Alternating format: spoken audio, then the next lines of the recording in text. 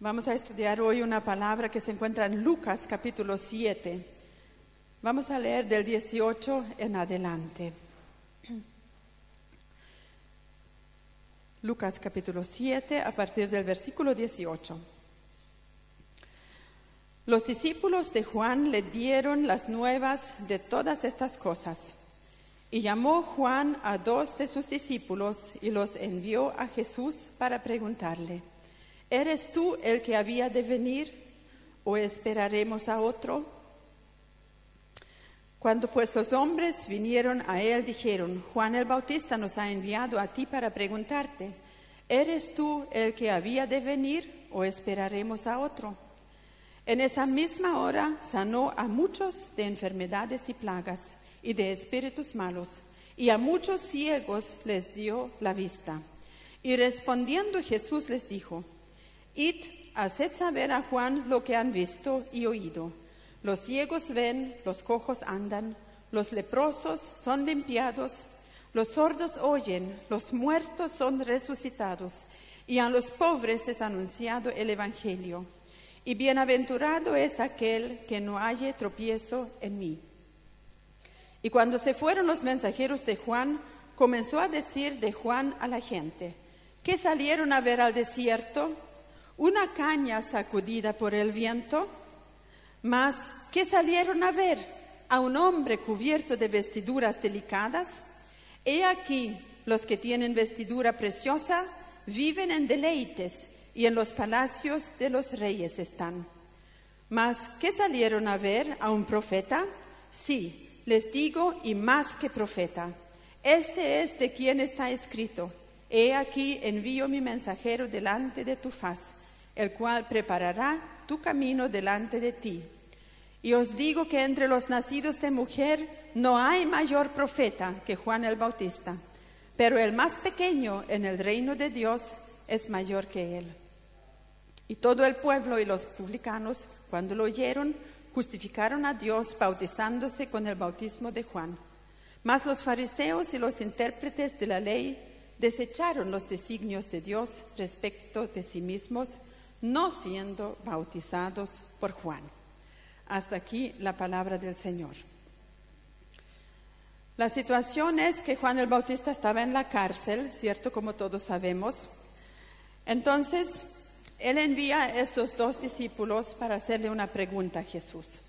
Pero quiero comenzar este mensaje a partir del versículo 24, donde dice, cuando se fueron los mensajeros de Juan, Jesús le empieza a dar un mensaje poderoso a la gente que está ahí presente. Y le dice, ¿qué fueron a ver al desierto? Y empieza a reconocer a Juan el Bautista como el profeta más grande. Y le dice, de todos los que han nacido de mujer, no hay ninguno más grande que Juan el Bautista. Y cita al profeta Malaquías cuando dijo, va a venir uno en el espíritu de Elías y va a preparar el camino al Señor. Y este es Juan el Bautista. Entonces, yo me preguntaba, ¿por qué no le envió este reconocimiento al mismo Juan? Sino que Jesús esperó que los mensajeros se fueran y después le habló a la gente y le dijo lo que acabamos de leer.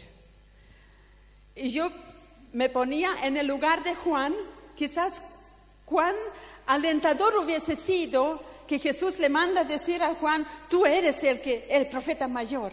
No hay ninguno como tú nacido de mujer, tú eres el más grande. Jesús no consoló a Juan estando él en la cárcel sino que se lo dijo a la gente.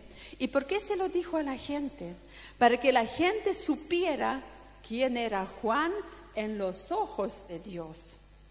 No a los ojos de ellos, ni a los ojos de los fariseos. Porque cuando leemos los evangelios nos damos cuenta que algunos estaban de acuerdo con Juan, otros no estaban de acuerdo con Juan, se preguntaban, ¿será el Cristo? ¿Y quién es este? Había una inseguridad única en el pueblo acerca de Juan el Bautista. Y de repente desaparece del escenario porque Herodes lo mandó a la cárcel. Entonces, de seguro que alguna gente decía, no, sí, mira, lo mandaron a la cárcel, o sea, no es tan de Dios, porque si fuera de Dios no estaría él en la cárcel, ¿cierto? Como sucede hoy muchas veces. Cuando alguien es usado por Dios y de repente le pasa alguna desgracia, dice, no, pues si le está castigando Dios, ¿cierto? Con cuánta facilidad opinamos sin saber, sin saber por qué suceden las cosas. Fíjense que Jesús no intervino en, el, en, en lo que le aconteció a Juan. Dejó a Juan en la cárcel. No lo fue a sacar. Entonces, para que la gente no tenga una imagen media confundida, por eso yo creo que Jesús le dijo a la gente, ¿quién es Juan ante los ojos de Dios?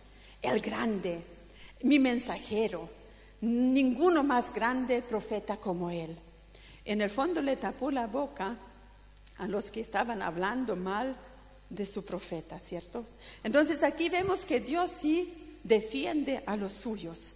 Si nosotros somos hijos de Dios, tenga la certeza que a pesar que todo lo que nos pase, Dios está con usted y conmigo.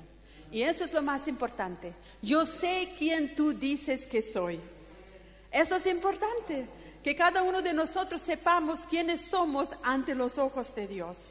Ahora Juan el Bautista no tenía una Biblia para leer quién es Él, ¿cierto? Pero nosotros sí. Gracias al Señor que tenemos una palabra que sabemos que es la única verdad, que es nuestra regla de fe, es nuestra ancla que nos sostiene y que esta palabra nos dice a nosotros, pueblo de Dios, quiénes somos. Y por lo tanto no necesitamos temerle a nadie. Entonces, hoy en día también la gente generalmente eh, juzga a alguien o lo valora según el éxito que tiene. Si no tiene éxito una persona, entonces no se le toma mucho en cuenta. Pero si es alguien estudiado, ¿cierto? Si es alguien con renombre, si es alguien con galones, como dicen en Chile, ¿cierto? Si es alguien reconocido en la sociedad, ah, entonces, ese sí lo vamos a escuchar. Una vez, cuando estábamos en Alemania, nos vino a visitar un hermano de la, iglesia, de una iglesia bautista de Valparaíso. Él era doctor en biología. Entonces nosotros teníamos unos amigos, un matrimonio alemán, y le fuimos a comentar que nos va a venir a ver un hermano de Valparaíso que es doctor en biología y él va a venir porque está haciendo un doctorado también en España. Oh, en serio. Estaban impresionados que por favor lo, invitemos para que eh, lo conozcan. yo me hacía la pregunta, ¿y qué si hubiese dicho, eh, va a venir un hermano que vive en una toma? Yo, estoy, yo sé que el interés no habría sido tanto. Y así es hoy en día. Nosotros somos los clasistas, como en el tiempo de Jesús también. Entonces, amados, tenemos que tener siempre la perspectiva de Dios. ¿Cómo nos mira Dios? Eso es lo importante. Por eso Jesús en el versículo siguiente le está diciendo, les digo que el profeta más grande es Juan el Bautista, pero, y viene un pero, pero el más pequeño en el reino es más grande que él. Fíjense, de repente como que Jesús da un vuelco y dice, el más pequeño, lo que nosotros vemos, lo más pequeño, capaz que Dios dice, ese es el más grande. Entonces nosotros no tenemos que usar nuestros ojos terrenales ni nuestro juicio terrenal de hombres tenemos que tratarnos entre nosotros como iguales, porque ante los ojos de Dios somos iguales en cuanto al amor de Dios, en cuanto a ser hijos de Dios. La única diferencia que nosotros tenemos es el servicio que nos ha sido designado a cada uno, ¿cierto? Esa es la diferencia. Pero en cuanto al valor, ante los ojos de Dios, somos iguales. Entonces Jesús dice, el más pequeño en el reino de Dios es mayor que él. Porque a pesar que Juan el Bautista fue bautizado con el Espíritu Santo, aún estando en el vientre de su madre, nosotros tenemos quizás mayor privilegio haber recibido a Jesucristo como nuestro Salvador y tener el privilegio de ser ahora también bautizado con el Espíritu Santo y en el fuego del Espíritu Santo, más encima, ¿cierto? Entonces nos- a- Dios a nosotros nos considera grande. Y Jesús dijo, el que quiere ser grande en el reino de los cielos, sea vuestro servidor. ¿Se fijan? El Señor siempre nos balancea para que no nos creamos más de lo que somos. El que quiere ser grande, sea vuestro siervo. Y ejemplo nos dio Jesús. Para que Él pueda ser exaltado, primero vino a servir. ¿Y por qué Jesús nació en un pesebre? ¿Por qué Jesús nació en pobreza al principio? ¿Por qué Jesús no nació en una casa común y corriente de, la clase media?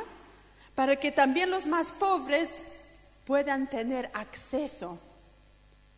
¿Me entienden? Por eso también Jesús siempre le dice a los fariseos, ustedes que se quieren ver hermosos, que se quieren ver elegante, que le gustan los primeros puestos en, en la sinagoga, pero por dentro no me agradan.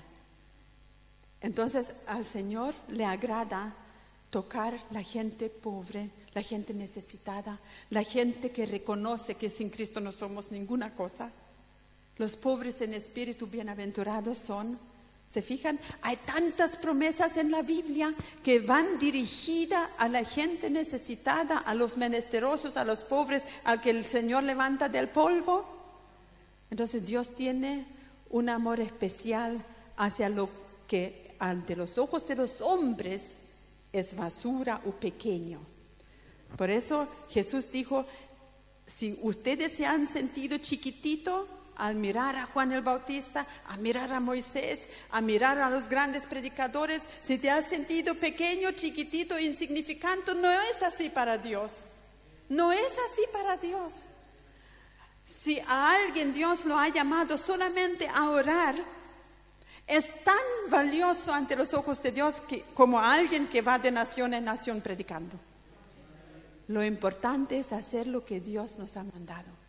Entonces es el, el balance que el Señor pone aquí y dice, y todo el pueblo, los publicanos, cuando lo oyeron, cuando lo oyeron, ¿quiénes se alegraron? El pueblo, el publicano, esos se alegraron con el mensaje de Jesús. Y cuando lo oyeron, dijeron, yo me quiero bautizar, yo acepto el mensaje, yo quiero caminar con Cristo.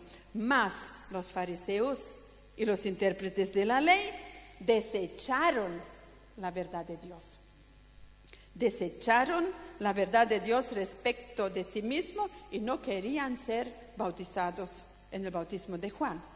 Entonces aquí tenemos lo que escuchamos el domingo pasado, el trigo y la cizaña, o sea, el trigo y la paja, ¿cierto? El trigo siempre va a querer lo de Dios, pero la paja siempre va a resistir a Dios. Entonces, cuando nosotros escuchamos la palabra del Señor y usted en su interior, mientras uno escucha la palabra, dice, sí, Señor, eso es lo que yo quiero. Sí, Señor, yo quiero ser tu varo. Sí, Señor. Entonces usted se autodetecta como trigo. Pero cuando la palabra de Dios es exhortada y uno siente dentro de sí como como un choque, como una rebeldía, como una que no me agrada, que no me gusta, que no quiero, que no, conmigo no, que entonces capaz que sea paja. Pero al trigo siempre le va a gustar la palabra. Así que ahora vamos al mensaje. Esto fue así como a modo de introducción. Vamos ahora al comienzo, al versículo 18. Los discípulos de Juan vienen y vienen con una pregunta. ¿Eres tú el que había de venir o esperaremos a otro? ¿No le parece rara esta pregunta que venga de Juan el Bautista? El gran predicador, el mensajero, el que bautizó a Jesús en el Jordán, el que escuchó la voz del cielo cuando el Padre dijo, este es mi Hijo amado en quien tengo complacencia. Este Juan que fue tan valiente de confrontar a los fariseos, a los hipócritas, de decirle las cosas como son. que era tan valiente que desafió hasta Herodes y le dijo, la mujer que tú tienes, tú no deberías tenerla. Y por eso Herodes se enojó y lo metió en la cárcel, ¿cierto? Juan fue valiente con la autoridad. No dijo, bueno, como es Herodes, vamos a ir despacito, vamos a buscar un mensaje que no le choque tanto. Total, él es la autoridad, hay que ponerse de buena con la autoridad a ver qué podamos conseguir, como sucede hoy muchas veces, ¿cierto? Que la iglesia a las autoridades no le dice lo que tienen que decir porque pues, lo necesitamos, necesitamos un permiso, necesitamos un terreno, necesitamos, qué sé yo, alguna cosa. Entonces con las autoridades, como que uno hoy en día ya no es como Juan el Bautista. Por eso amo a mi esposo, porque él es diferente. Ustedes saben su historia, cuando le tocó ir allá al Congreso con los políticos, él levantó la voz y le dijo las cosas como son, que si no se arrepienten, van derecho al infierno, mientras los demás pastores estaban medio acohibidos. Pero la verdad es que, ¿para qué invitaron a los pastores al Congreso? Para conseguir los votos de las iglesias. Entonces tenemos que ser valientes aún con nuestras autoridades. Y ese fue Juan, el valiente, el testigo de Dios. Y ahora manda decir, ¿eres tú el que había de venir? Y ahora se nota como un pequeño, una pequeña duda un defraude o no sé qué nota usted cuando después Juan dice o esperaremos a otro.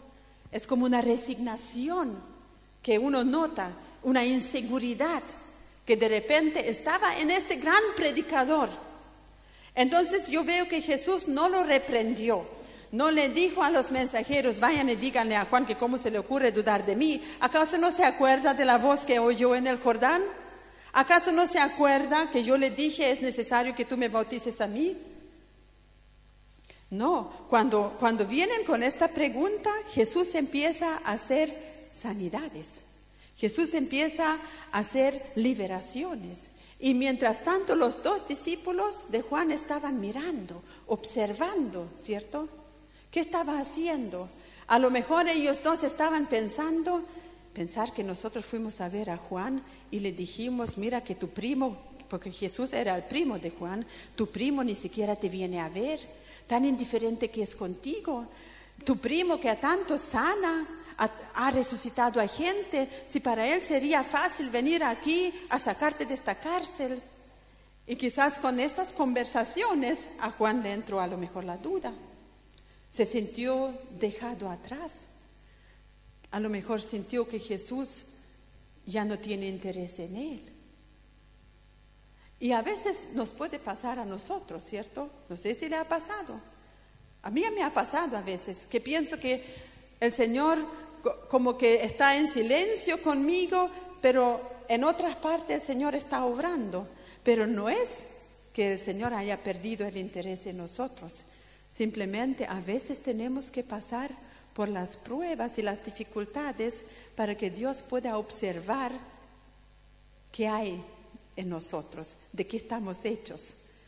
Si caminamos con Cristo solamente cuando las cosas van bien o también cuando hay dificultad.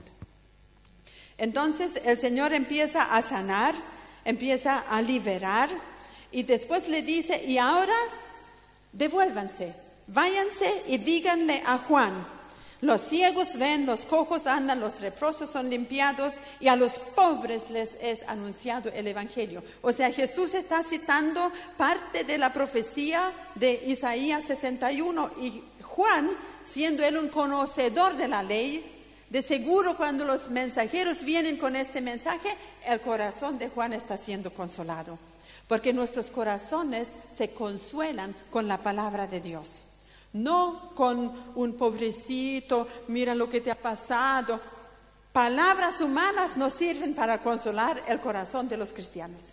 Necesitamos la palabra del Señor.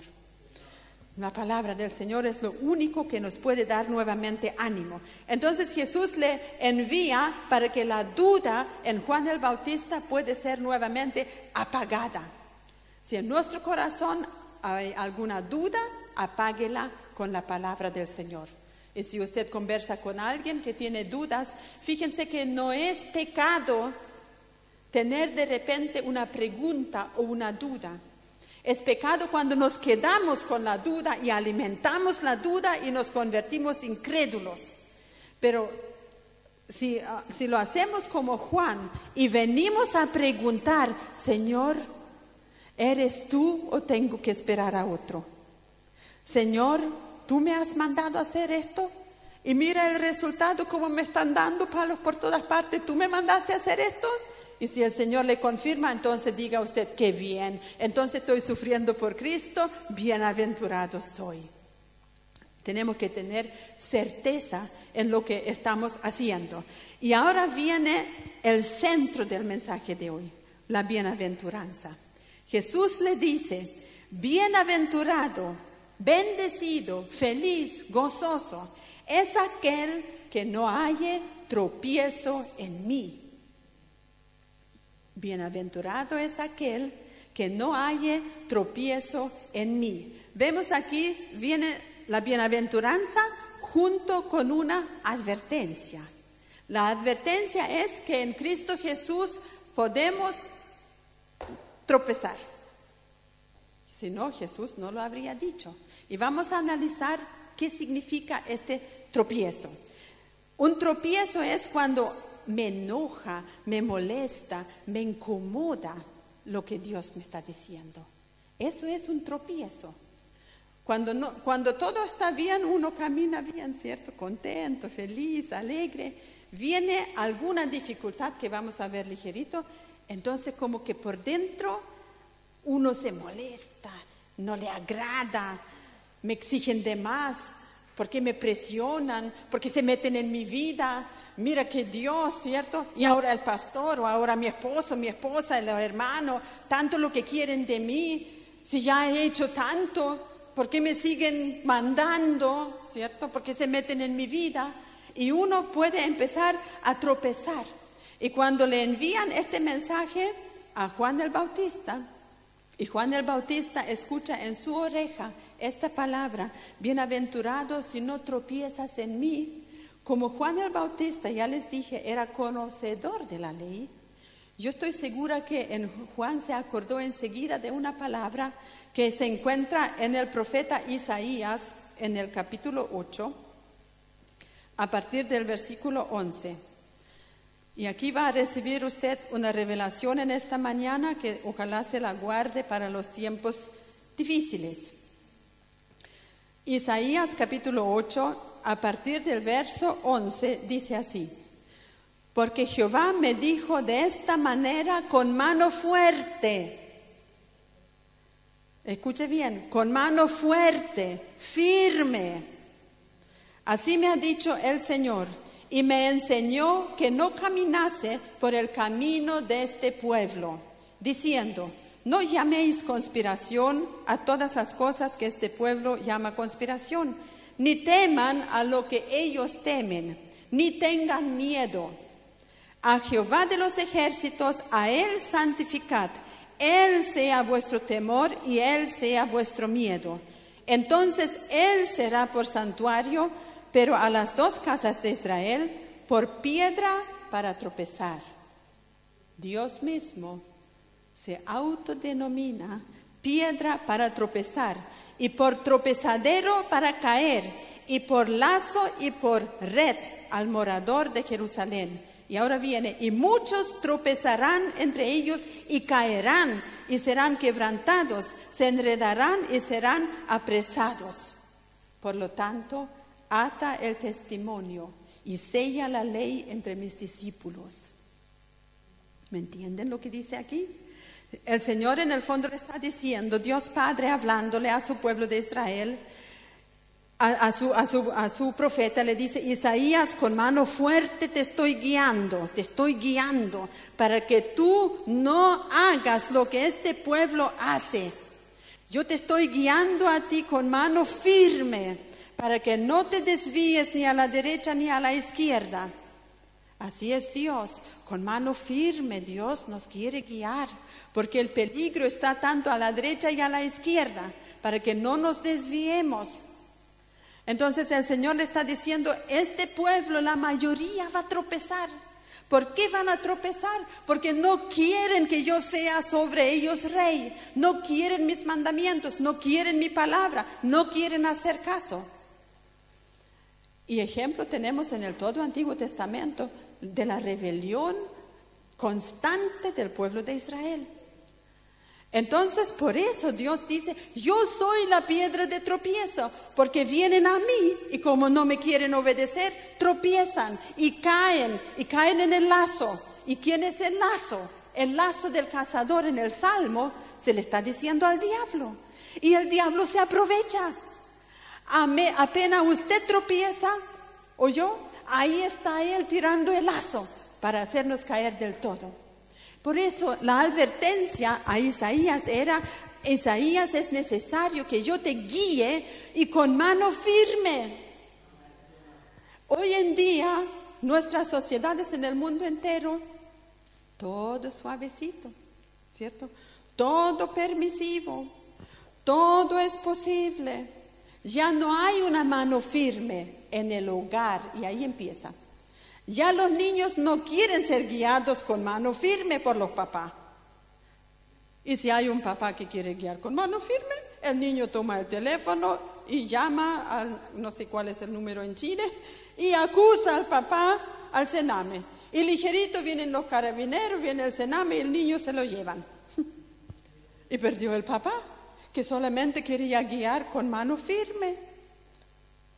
A veces mano dura es necesario. Y así es nuestro Dios Padre, porque a nosotros nos hace bien. La mano firme nos hace bien, porque nos protege. A veces la gente se enoja con Dios, pero es por nuestra propia protección que Dios nos prohíbe ciertas cosas. Entonces el consejo es, ata el testimonio a tu brazo, sella la ley entre mis discípulos. Imagínense en el Antiguo Testamento aparece la palabra discípulo. Entonces ahí vemos que desde un comienzo para Dios era importante que los discípulos de Jesús caminen en la ley de Jehová, en, en, la ley del Espíritu, bajo la palabra de Dios. No puede haber ninguna cosa más importante en nosotros para guiarnos que la palabra del Señor. Entonces, y después dice, oh, la gente consulta a los encantadores, a los adivinos, consultan a los muertos por los vivos. Eso es lo que hacía el pueblo de Israel. Y hoy en día muchos cristianos consultan el horóscopo para ver cómo les va a ir, o consultan una y otra cosa, ¿cierto? Se consulta el Internet. ¿Cuántas cosas no consultamos a Mr. Google hoy en día? Muchísimas cosas. En vez de tomar la palabra y, consultar al que tiene todas las respuestas. Entonces, después nuevamente el Señor dice, a la ley y al testimonio. Si no dijeren conforme a esto, es porque no les ha amanecido. La gente que se pone rebelde con la palabra del Señor es porque no se le alumbra la ampolleta, en, traducido al chileno, ¿cierto? Porque no les ha amanecido.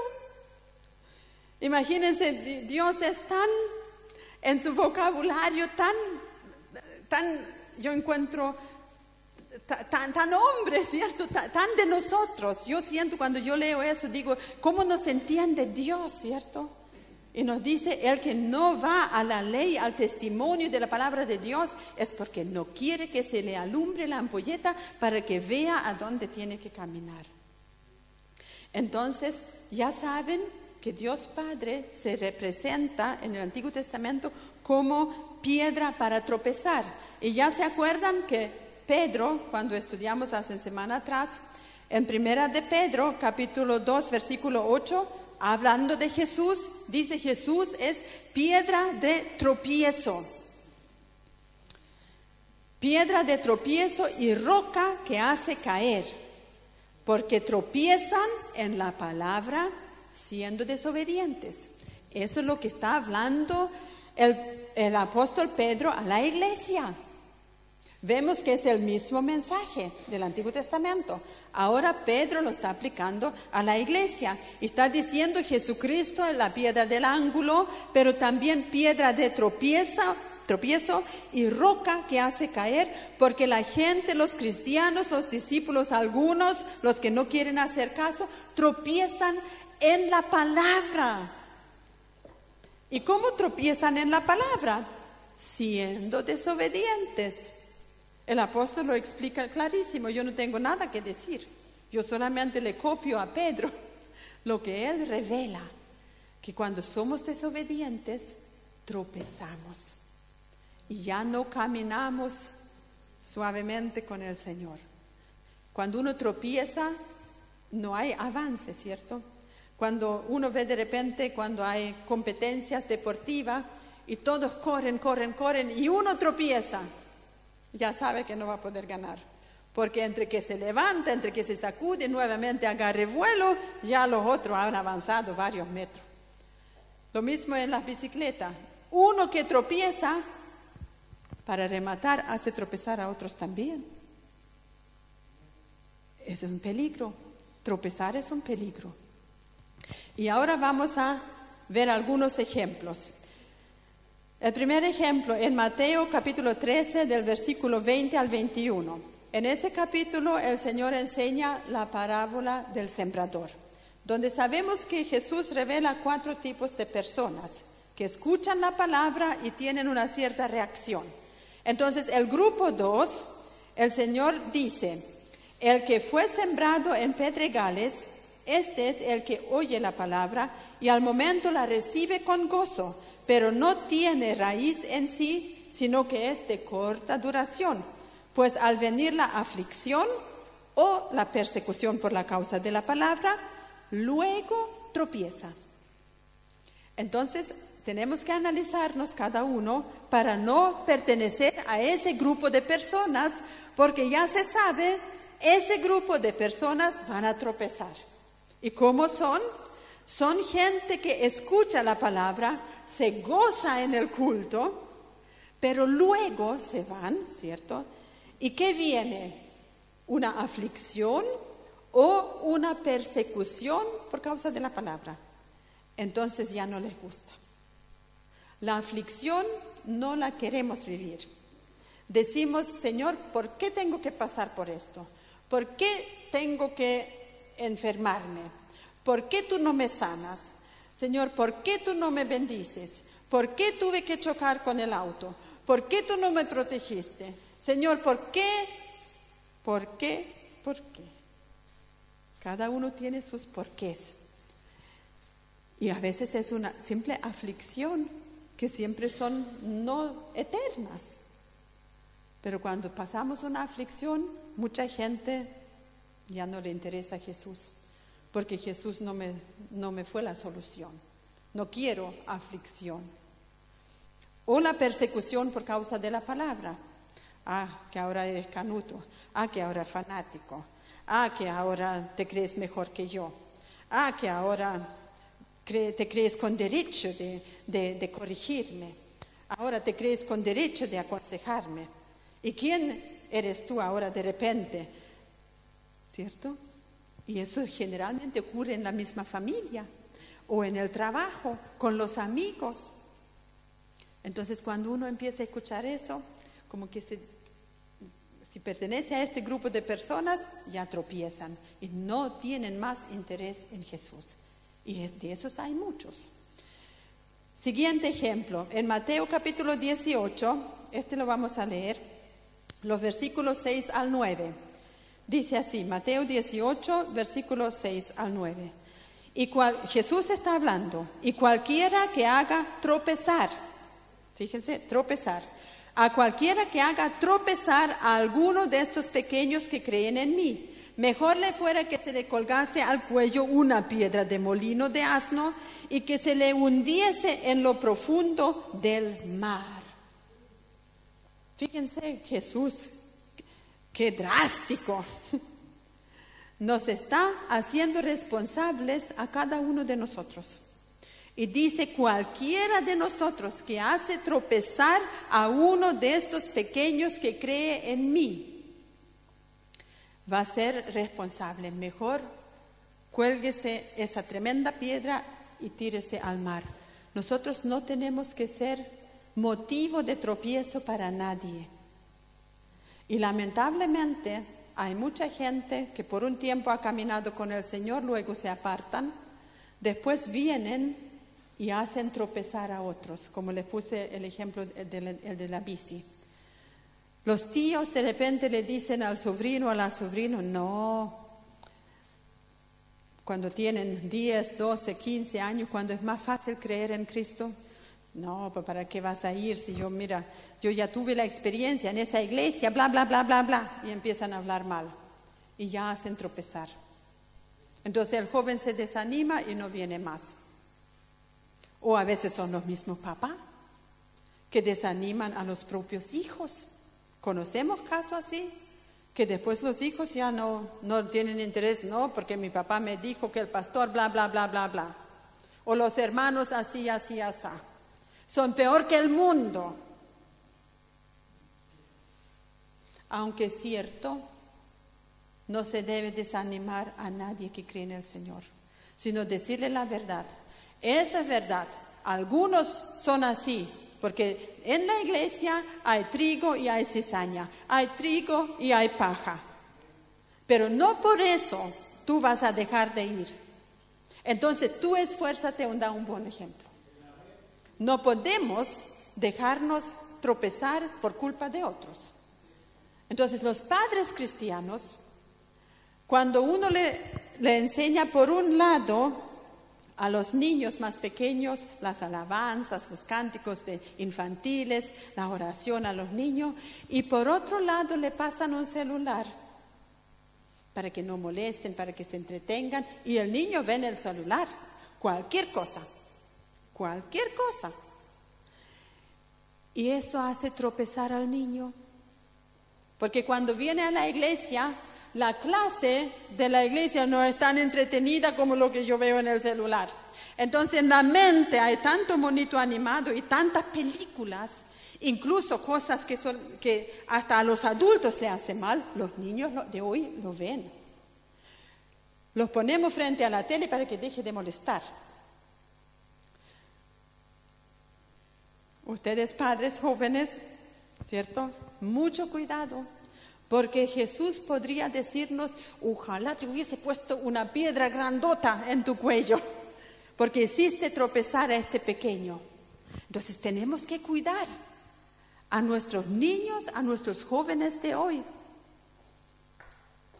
Es tremendo lo que mis hijas me contaban de acá, del colegio alemán, del colegio inglés y ahora de los colegios en Alemania donde, donde han trabajado, las cosas terribles que ven los pequeños, terribles.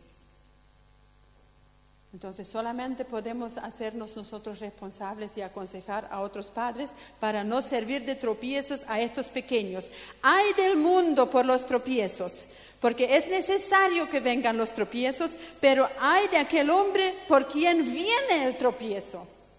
O sea, los tropiezos van a ver, dice Jesús, no los podemos eliminar, pero cuidado que nosotros, cada uno en particular, no sea el causante del tropiezo. Y luego viene otro tropiezo. Por tanto, si tu mano o tu pie te es ocasión de caer, córtala, échala de ti, mejor es entrar en la vida cojo o manco, que teniendo dos manos y dos pies y ser echado en el fuego eterno, fuego eterno lo que la gente de hoy no quiere escuchar. Y si tu ojo te es ocasión de caer, sácalo y échalo de ti. Mejor te es entrar con un solo ojo en la vida que teniendo dos ojos y ser echado en el infierno del fuego. Jesús fue muy claro en decir que, amados, hay consecuencias. Si vivimos en pecado, vamos a estar tropezando, tropezando, tropezando hasta caer y ser molido por la piedra de tropiezo. Porque a Dios no le agrada que estemos regaloneando algunas cosas que a Él no le agradan en nuestras vidas. Yo no sé por qué e-, esa palabra, mi pecado regalón, lo escuché en algunos años atrás y yo pensé, esas son dos palabras totalmente opuestas. Un pecado no puede ser un regalón, Porque un regalón es algo querido, ¿cierto? Algo que uno, como Elian, él es el regalón de la familia, pero un pecado no puede ser el regalón. Entonces, tenemos que tener cuidado para no tropezar en nuestras propias vidas pecando. Porque Jesús dice, no lo estoy diciendo yo, el fuego eterno o el infierno de fuego es el fin. Entonces son cosas muy serias que el Señor nos está enseñando. No podemos jugar con el enemigo, con el, con el pecado. En este caso el pecado es nuestro enemigo. Es mejor arreglar la vida con el Señor para no tropezar. Y Jesús fue más claro todavía en Mateo 24, 10, cuando él habla de los últimos tiempos y dice, muchos tropezarán entonces, muchos tropezarán entonces y se entregarán unos a otros y unos a otros se aborrecerán. Entonces son puras advertencias que tenemos que tener en nuestro corazón porque Jesús está hablando de nuestros tiempos. Y dicen al final de los tiempos, cuando hay guerras, hambres y todas esas cosas, cuando Israel está siendo restaurada y la venida del Señor está pronto a venir, el Evangelio ha sido predicado en todas las naciones y luego vendrá el fin, pero antes, dice Jesús, va a haber un tiempo donde muchos van a tropezar. Y después dice, y el amor de la mayoría se va a enfriar. Por eso tenemos hoy en día cultos o iglesias completas donde no hay amor de Dios, ni fuego de Dios, ni santidad, ni infierno de tema, ninguna de esas cosas. Solamente enseñanza que toca la mente, mas no cambia el corazón. A nosotros no nos interesa eso. A nosotros nos interesa que Dios pueda tomarnos como el barro y apretar, formar trabajar, ¿cierto? Que saque todo tropiezo de nosotros y que el Espíritu Santo puede derramarse con plena libertad y puede hacer lo que quiere Él con nosotros. Evangelio de poder, evangelio real y verdadero, ese es el único. No hay evangelio de cabeza. Entonces, cuando Jesús dice que muchos van a tropezar y se van a entregar los unos a los otros, el amor fraternal no va a estar. Por eso es importante que sigamos alimentando el amor, la coinonía entre nosotros, porque es lo que nos va a sostener y debería ser la característica de la iglesia, el amor. Porque en eso conocerán que son mis discípulos cuando se amen los unos a los otros, dijo Jesús. No cuando se aborrezcan los unos a los otros. ¿Cierto? Entonces, primera de Juan 2, versículo 10 dice, el que ama a su hermano permanece en la luz y no hay en él tropiezo. ¿Qué lo, ¿Cuál es el elemento que nos protege para no tropezar? Es el amor que tenemos los unos con los otros. Y cuando yo digo el amor que nos tenemos los unos a los otros, no me refiero a un amor sentimental, abrazo, besito, no Amor es también ayudarnos en el camino del Señor, cuidarnos las espaldas, no hablar mal, no pelarnos los unos a los otros, sino más bien animarnos a buenas obras, animarnos, hermano, no viniste hoy al culto, te eché de menos, ¿dónde has estado? ¿Cómo te va en el trabajo? ¿Cómo va tu salud? ¿Estás siendo restaurado? ¿Cuáles son tus anhelos? ¿Por qué puedo orar? Eso es amor. O cuando ves pecar a tu hermano, Jesús mismo enseñó, corrígelo, ayúdale. El que ama a su hermano permanece en la luz y no hay tropiezo en él. Y después en el capítulo 3, versículo 15, también de primera de Juan dice, todo aquel que aborrece a su hermano es homicida. Y ya saben que ningún homicida tiene la vida eterna permanentemente en él. Fíjense cuán de advertencia es ese versículo. Tener la vida eterna permanentemente en mí. Cuando el apóstol Juan usa esa expresión, quiere decir que algunos tienen vida eterna pero no permanente. Cuando dicen se puede perder la salvación, ¿cierto? Siempre aparece alguna vez esa pregunta, ¿la salvación se pierde o no se pierde? En Apocalipsis dice, si permaneces hasta el fin, no te borraré tu nombre del libro de la vida. Bueno, si Jesús mismo dice que se puede borrar. Y ahora el apóstol Juan dice, el que aborrece su hermano no tiene vida eterna permanente, porque cuando algo permanece es para siempre, ¿cierto? Y cuando algo no permanece es temporal.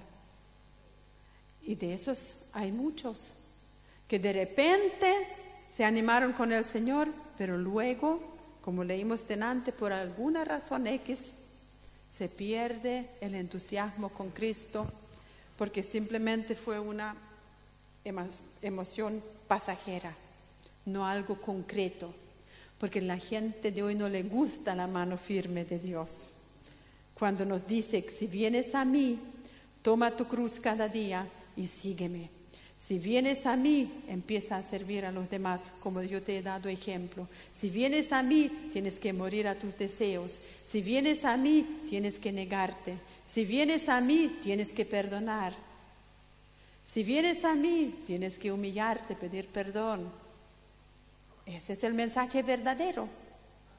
No ven al Señor, Él te va a dar gozo y alegría, la paz eterna.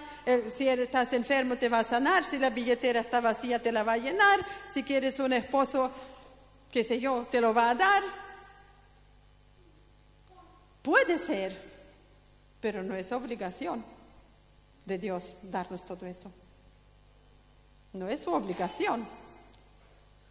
Más bien, al leer toda la Biblia, vemos los de Dios pasan por las aflicciones, los de Dios pasan por, como dice el Salmo 23, por el valle de sombra y de muerte. Tenemos que resistir al diablo, tenemos que combatir nuestra carne. O sea, son cosas de héroes. son cosas de gente valiente que dice, sí Señor, contigo voy a pechugar. Sí Señor, venga lo que venga, aquí me voy a mantener porque tu Espíritu Santo está en mí y no voy a aflojar. Y si es necesario humillarme, me humillo. Si es necesario gastarme, me gasto. Así dijo el apóstol Pablo.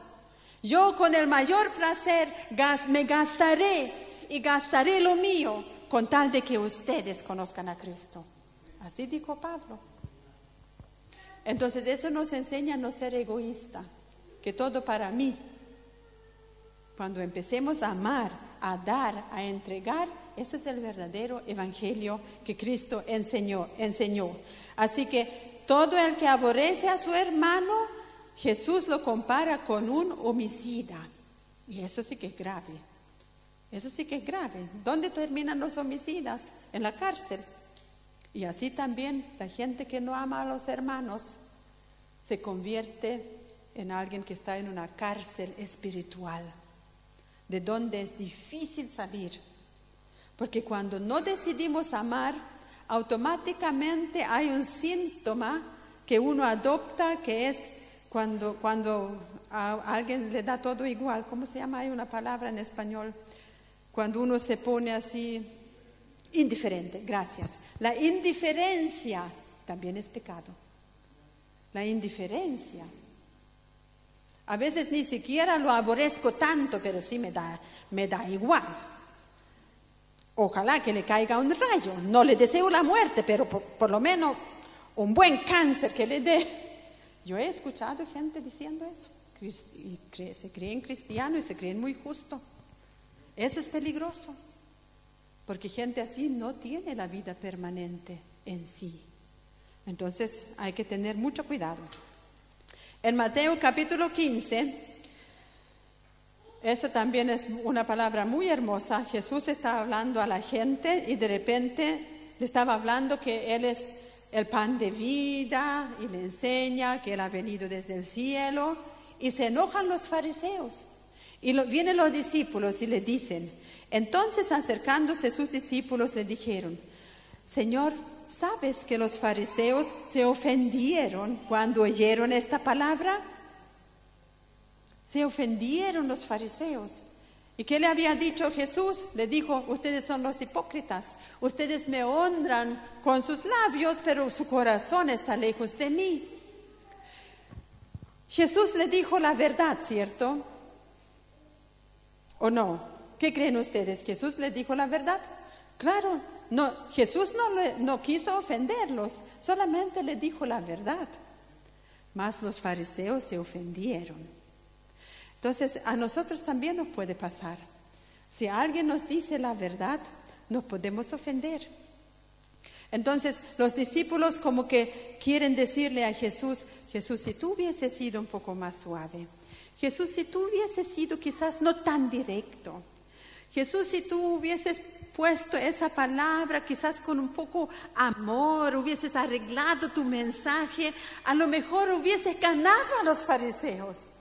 Pero Jesús, tú siempre tienes que venir con esas palabras tan directas, tan sin misericordia, tan sin amor. ¿Han escuchado alguna vez algo así? Oh, esta hermana cuando me habla, pura corrección, ¿cierto? Siempre me corrige, nunca una palabra de bendición, ¿cierto? Y no nos gusta que nos se meten con nosotros, no nos gusta que nos digan lo que está mal. No nos gusta que nos llamen al arrepentimiento, igual que ellos, ¿cierto? Y los discípulos como que quieren dejar entrever a Jesús, Jesús, tu mensaje. Y luego Jesús le enseña, después de la, de la cena que tomó con sus discípulos, le enseña de su cuerpo y de su sangre. Los eh, discípulos también se ofendieron. ¿Cómo puedes decir tales cosas? Tan dura tu palabra, Señor. ¿Quién la puede escuchar? Tan dura, ¿se fijan? Lo mismo que Dios Padre dijo en Isaías, con mano dura te quiero conducir. Es bueno para nosotros que el Señor ojalá que nos agarre firme para que no nos caigamos. A mí no me molesta que el Señor me agarre firme porque eso me ayuda, me da firmeza, me da seguridad. ¿Han conocido gente que cuando uno lo saluda le da la mano medio así? que usted no sabe, me la dio o no me la dio y da como cosa. Cuando uno le da la mano y aprieta firme, ahí como que uno con seguridad saluda. Así es, es Dios. Cuando nos da la mano, así un apretón, y nos, nos guía con su palabra firme y adelante, eso está bien. Eso está bien. No así, como si, como sa. Ay, Señor. ¿Creen ustedes que Jesús no amaba a los fariseos? Sí, los amaba. Por algo les dijo la verdad. Y algunos de ellos después se arrepintieron. Porque si no decimos la verdad, la gente no tiene opción de arrepentirse. Es como aplaudirle que sigan caminando en su error. Mejor decir la verdad, mejor corregir, pero siempre en amor, entonces, ¿qué pasa con muchos pastores, muchos predicadores de hoy? Para que la gente no se molesta, generalmente uno evita ciertos temas. Por ejemplo, el fuego eterno. O por ejemplo, sácate el ojo si tienes ocasión de caer. Esas cosas mejor no las digamos, mejor tirémosle una profecía bonita, mejor nos quedamos con la, con las palabras de amor, de cariño, de confianza, de seguridad, ¿cierto? Pero no vamos a asustar a la gente con eso. Toma tu cruz cada día y sígueme, no.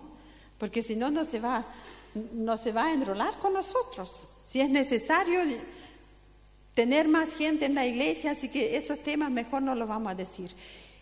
Entonces, los pastores o los predicadores pecan delante del Señor. Y nosotros tenemos que ponernos valientes de predicar el Evangelio verdadero, de llamar a la gente al arrepentimiento. Yo muchas veces le doy gracias al Señor por la hermana que me predicó a mí por primera vez el Evangelio pan, pan, vino, vino. Y me dijo durante media hora todo lo que se puede y todo lo que no se puede.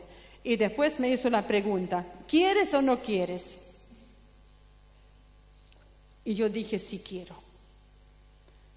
Pero sabía lo que me enfrento. Y hoy en día muchos levanten sus manos los que quieren aceptar a Jesús en su corazón. Uh, todo el mundo acepta a Jesús. Y cuando uno después le quiere enseñar, no, pues yo no sabía que de eso se trata. Entonces mejor predicar de un principio bien para que se conviertan, bien convertidos. Y después tenemos el fruto verdadero, ¿o no? Es tan fácil decirle a la gente Jesús te ama, pero es tan difícil enseñar. Y el mensaje de Jesús, Jesús dejó ese mensaje a la iglesia, enséñenles que guarden todo lo que yo les he mandado. Es difícil, yo sé que ser profesor hoy en día también es difícil, porque los niños ya no son como éramos nosotros, ¿cierto? El profesor era una eminencia casi, chuta, cuando hablaba el profesor todo el mundo silencioso, ya no es así. En la iglesia tan igual. Entonces, prediquémosle la verdad a la gente. Y por último, el último tropiezo. En Juan el capítulo 6, este es muy bonito. Escuchen lo que, lo que pasó ahí. En Juan capítulo 6, Jesús sanó a muchos, liberó a muchos, como siempre Él, ¿cierto? Mostrando su poder, su misericordia hacia la gente. Y de repente ya era, de, era tarde y no tenían pan. Entonces le multiplicó el pan. Con cinco panes y dos peces comieron todos. Y la gente estaba fascinada. Después, al otro día, Jesús sigue de viaje y la gente dice al otro día, ¿y dónde está Jesús? ¿Dónde está Jesús? hasta el otro lado, vamos también. Y ¡pum! Toda la multitud parte detrás de Jesús. Y Jesús los recibe ahí y Jesús les dice nuevamente la verdad. No dice, ah, chiquillos, qué bueno que volvieron, qué bueno que, que, están aquí otra vez. A ver, ¿quedó algún enfermo más? ¿O qué más quieren saber de mí? ¿Quieren que le enseñe otra cosa más? No, Jesús le dice, ustedes ni siquiera vienen por mí. Ustedes vienen porque anoche comieron gratis. Y ustedes vienen porque quieren comer nuevamente gratis. Y la gente, dice la Biblia en Juan 6, se molestaron y le dijeron lo siguiente, ¿y qué señal haces tú para que te creamos? Y no le hizo ayer señales muchas. Todas las sanidades que vieron, la multiplicación del pan. Y al otro día vienen y le dicen, ¿y qué señal haces tú para que podamos creer que tú eres el Hijo de Dios? ¿Cuál es tu obra? Así le dijeron. Y yo al leer ese pasaje pensé, qué atrevido, ¿no? Jesús le está enseñando, le está diciendo, ustedes vienen por el pan que comieron gratis, pero yo les digo, busquen el pan espiritual. Ese es más importante. Pero la gente no quería eso. La gente quería el pan físico. Y por eso Jesús le dijo, por eso ellos también le contestan, ¿y cuál es la señal que tú haces? Y yo no sé cómo se contuvo Jesús. Si hubiese sido yo, yo le habría dicho, ¡pa! Y no, no comiste el pan que yo multipliqué anoche. Y mira el otro, no fue ese el cojo que sané, no es, son estos los diez ciegos que sané, no es este el leproso que limpié. ¿Y qué más quieres que te haga? ¿Qué, más señal quieres? Extraordinario. Jesús no le dijo eso. Por eso yo admiro tanto a Jesús porque es tan diferente a mí. Yo, yo le habría dicho otra cosa, pero bueno, como menos mal que el Señor no me, no me preguntó a mí, porque Él sabe lo que hace. Y Él apuntó derechito al corazón donde, estaba la yaya, como decimos aquí, ¿cierto? Donde estaba el problema. Jesús descubrió el corazón de la gente. Y mucho pasa hoy también. La gente viene porque quieren ver algo de Jesús, pero no vienen por lo más importante que es el pan espiritual la comida no adulterada, que Pedro dice, ojalá que deseen todos los días la comida espiritual no adulterada, porque esa te va a ayudar para que no tropieces y llegues a la final trompeta. La comida verdadera, la comida no adulterada. ¿En cuántas iglesias de hoy se adultera la palabra del Señor? Triste, es muy triste eso. Entonces, como Jesús es tan bondadoso, Ojalá no, no nos olvidemos de lo que Él hizo ayer y demos siempre gracias porque, por lo que hace hoy. No seamos como esos que vienen por los panes y los peces. Vengamos cuando vengamos al culto o cuando usted se aparta en su casa a orar. O adore al Señor por quien es Él. Deseele a Él. Así como cantamos, Jesucristo basta. Si te tengo a ti, no me falta nada. Ese es el punto principal en la vida de cada uno de nosotros. Eso es lo que va a decidir nuestra eternidad, mis amados. No basta honrar al Señor de labios, sino caminar con Él como Él se merece. Y los judíos murmuraban de Él en Juan 6, 41 y en el 61 versículo también sus discípulos murmuran porque siempre tenían algo que murmurar de Jesús, algo que no les gustaba. Y finalmente cuando Jesús iba a ser crucificado, primero tomó la cena del Señor con sus discípulos y luego va caminando con ellos al huerto Getsemaní. Y en ese trayecto el Señor le habla muchas cosas muy importantes. Entre, entre, todo eso de la cruz, de la importancia de negarse, de la importancia del Espíritu Santo, de todo eso le habla el Señor. Es un mensaje muy potente. Y finalmente Jesús dice, estas cosas os he hablado para que no tengan tropiezo. Para que no tengan tropiezo. si usted lee la Biblia, mayormente léase lo que Jesús habló, las palabras de Jesús. Eso son lo más importante. Adorarle a Él quien murió en la cruz por nosotros. Negarnos a nosotros mismos y seguirle a Él. Eso es lo más importante para no tropezar. Estas cosas les he hablado para que no tengan tropiezo. Y el que anda de día no tropieza porque ve la luz de este mundo. ¿Quién es? Jesús. Pero el que anda de noche tropieza porque no hay luz en él. El que anda en luz no va a tropezar. Si usted camina con Cristo, no va a tropezar, porque Él es la luz del mundo. Así que vamos a orar y le vamos a pedir al Señor que Él nos ayude en nuestro caminar para no tropezar. Amén.